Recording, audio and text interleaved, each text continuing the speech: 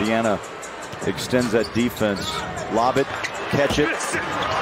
No foul. And Rudy and Turner get into it. Both hit the deck. And now we got problems. Uh-oh. Uh-oh. Not good. Not good. Gobert, you could just sense it coming, T. And you've got security trying to separate the Pacers and the Jazz. More than one player now getting involved. Donovan Mitchell's hot.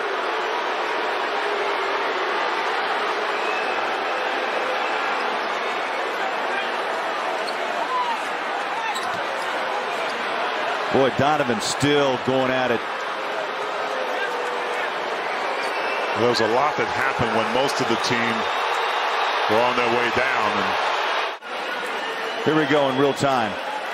Right here, Rudy wanted that foul. and Was well, frustrated. It was over the top, and you gotta you gotta ask, and the officials may as well. And here's the aftermath: a little chest bump and a wrestling match underway. Five plays under review for hostile act. Well, yeah, it's a hostile act, no question.